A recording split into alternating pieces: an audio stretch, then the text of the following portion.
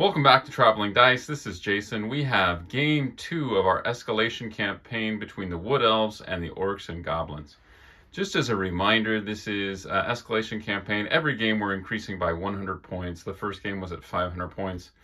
On the 11th game, we're going to get a bunch of bonuses for any victories that we had uh, throughout the campaign. So each victory is going to give us 50 points to add to the final match to determine the winner.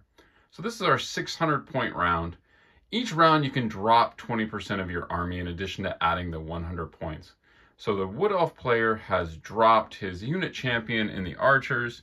He dropped one of his two Great Eagles, and he dropped the Iron Curse icon on his level 2 Spell Singer. So this freed him up to go ahead and add in a second unit of Treekin. He also added the True Flight arrows to the archers. So this is his 600 point army. My army, the orcs and goblins here, I didn't drop anything. I wanted to give these guys another chance to redeem themselves. So I've got my uh, Goblin Wolf Chariot, my block of Night Goblin Spearmen. That is a block of, let's see, 29 with my two characters. I have a level 2 and my Goblin Lord. Bringing back the Troll, the Doom Diver. The Night Goblins do have the two Fanatics, and I added in a block of Savage Orcs. This is 11 Savage Orcs. No command. They have the additional hand weapon. So in this match, we are going to use the following pieces of terrain. We have the barn, the three fences, the hill, the forest, and then the Wood Elf player is going to add his forest. We have the two spellcasters, so the level two he did switch the lore. He's on Beast this round, and he has Wyssan's uh, Wild Form, the signature spell, and he also has uh, the Savage Beast of Horros, which uh, augments the a character. In this case, it would just be the Spell Singer, giving him, I think it's plus three strength, plus three attacks. My level two has the uh, Night Goblin spell. He's on the Little Waaagh. He has the Gift of the Spider God, which would give a unit uh, poison attacks, and then he has a Hex, which the target has to reroll sixes. I think it's to hit, uh, to wound, and armor saves. All right, we'll show you where we're at after deployment. All right, so we just finished placing the terrain and deploying our armies. So on the Wood Elf player side, we have on his right flank a unit of three Treekin. Towards his center, another unit of three Treekin. The archers with the level 2 spell singer are kind of tucked away in here in this forested area with uh, walls. And then on his left flank, he has his Great Eagle. Uh, on his left flank, just past the deployment zone, we have a building. And then on my right flank, we have the forest. I have the Savage Orcs, which are directly facing off against the archers. My Troll, the Doom Diver in the center, the Doom Diver is six inches away from the troll, so, you know, hopefully he doesn't get killed the first round. Um, but he is six inches away from this guy, uh, my big general's unit. So my general's unit here, and then on my left flank, I have my chariot. All right, let's roll to see who goes first. You get a plus one. So I got a five. And you got a two, it looks like. All right, so I'll go first. All right, so I just finished my turn one. The Night Goblin block failed its animosity and then got a will show them result. So they went up four inches and then did another march move. So this got them uh, up about 12 inches just get it in my opponent's face. I'm thinking I got the Fanatics, so um, not much downside here. The Chariot moved up on my left flank. The troll passed stupidity test, marched up. Savages marched up as well. So closing in on my opponent here. The Doom Diver fired and hit the archers during my shooting phase. And I only got one hit, so I only killed one guy. And on my magic phase, I actually decided it wasn't worth the risk to cast. My two spells are Augment and Hex, and I don't think my opponent's going to charge me. The only unit he's really close enough to charge would be this one, and he'd have to eat the Fanatics to do that. So I felt like I was going to hold off on Magic for now. All right, we'll go to the bottom of turn one. just finished the bottom of turn one. The Treekin on my opponent's right flank moved up, releasing the Fanatics, getting within eight inches. One of the Fanatics went through, did two wounds to the Treekin, which is awesome. Uh, it would have been nice to get that third wound through and, and peeled one of those guys off. The other one only went seven inches, so he's kind of right there. We have the Treekin kind of hanging back, protecting the archers. The archers um, did shoot at the troll, doing a wound there. And prior to that, actually, during the magic phase, my opponent was able to cast Wild Form on those Treekins. So they're going to be strength five, toughness six. I think those guys are base toughness five, so they're they're kind of a big deal. Uh, but I do have two units within charge range, so we'll see what I decide to do. The Eagle moved up on the flank here, threatening either flank charges or redirects. We'll see what he does. All right, so we're going over to turn two. All right, so we're still in the middle of my turn two. During my turn two, I tried to declare a double charge on the Treekin, the Goblin Wolf Chariot, as well as the Night Goblin block. The Night Goblins rolled Snake Eyes for their charge distance, which is bad. They didn't they didn't need a huge amount. Uh, probably only needed like a four. But that was a failed charge. I mean, the Chariot went in on its own. The Fanatics then go nuts. Both Fanatics go through the Treekin. Um, somehow go through the Treekin, but miss the Chariot, which is great and they do a couple wounds. So he's down one Treekin, despite the wild form. So despite the toughness six on those guys. My Troll and Savage uh, Orcs move up. My Doom Diver misfires, but gets the six result, shoots in a random direction, and just decides to shoot off to the right there for some reason. So we are off over to combat. All right, so we finished the combat here. The Wolf Chariot goes in. Uh, does no damage. Uh, rolls poorly for the impact hits, fails the fear test, and the Treekin, despite having the Gork'll fix it, that rerolling sixes to hit and uh, all that jazz, they just murder it, doing four wounds to the chariot. My block of Night Goblins was within six inches, but fortunately they passed their panic test. So bottom of turn two, the Treekin charging on the Night Goblins.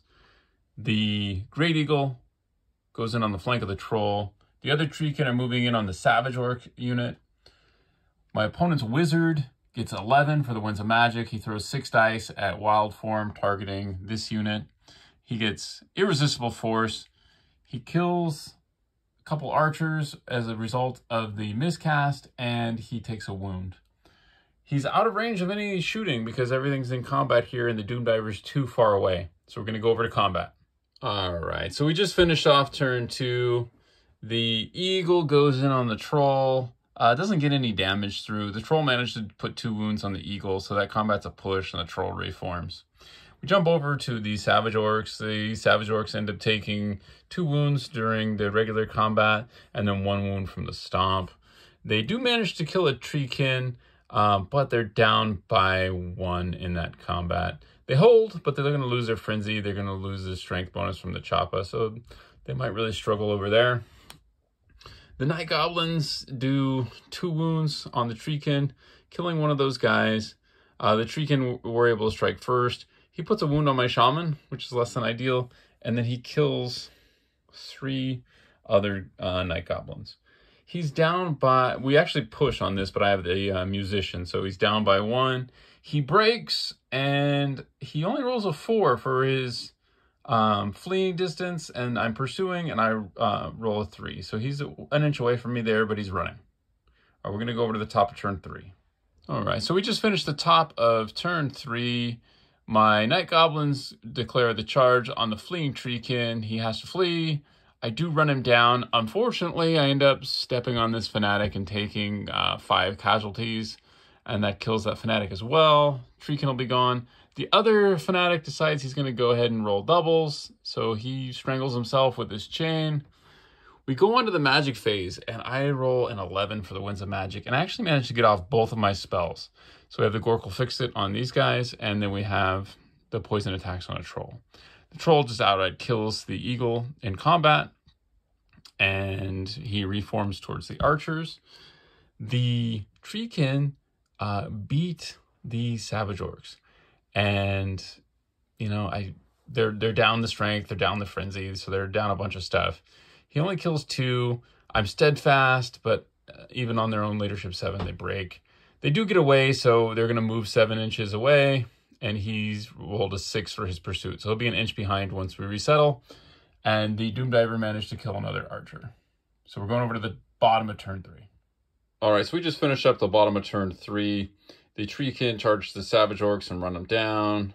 So that unit's removed, and the Treekin are either in my deployment zone or close to it, and they're closing in on the Doom Divers here. The magic phase, uh, my opponent tries to do the uh, boosted, uh, I'm sorry, regular Savage Horros spell on himself, giving him plus three attacks and plus three strength, anticipating a possible charge from the Troll, who is just barely within 12 of my General. I managed to dispel that one, and then he fails on the wild form, despite throwing three dice at it. So he doesn't get any spells off. In the shooting phase, he gets three wounds through on the troll, and I needed to make two out of those three regeneration saves, and I make two. So he trolls down to one wound here. My opponent will get a stand and shoot, so it'll be interesting to see how that he fares, assuming I can pass my stupidity check, of course. All right, we're going over the top of turn four. All right, so the top of turn four has occurred. The troll declared the charge on the archers. He did a stand and shoot. He did three wounds, which means I had to make all three of these regeneration saves or else the troll was going to die. And I made all three of them. So the troll got in there.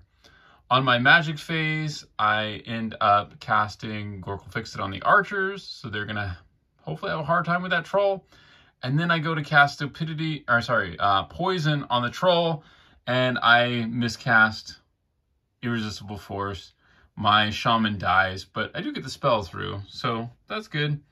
Uh, we're going to go over to combat.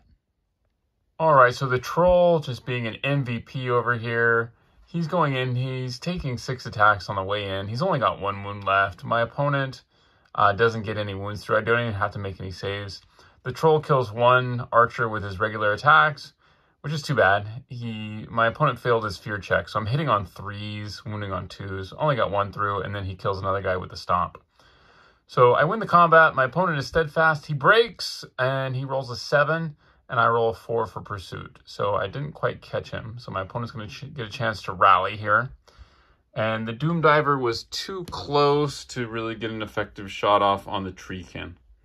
So over to the bottom of turn four. Bottom of turn four, the Treekin wheel and are in prime charging uh, area of the Doom Diver. My opponent's general's unit does rally over there, and during his magic phase, he managed to cast Savage Beast of Horros on his general. So he is now fully fighting general here. Going over to the top of turn five. All right, so things are all wrapped up here at the top of turn five. The uh, Night Goblins fail their animosity. They have to charge the archers, which ends up being fine. The troll passes stupidity. They both charge the archers. The Night Goblins take two casualties from a stand and shoot on the way in. Um, and they just decimate that unit. Despite having the Savage Beast of Horros, my general and issues a challenge to his general and doesn't take any damage. Um, his ward saves are hot. He kills my opponent's general and then there's only one archer left alive. He fails his break test and gets run down.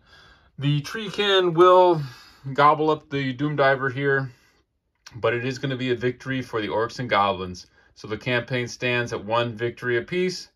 We'll see you next week as we go up to 700 points. If you enjoyed this and you want to see next week's episode, please like and subscribe. Bye for now.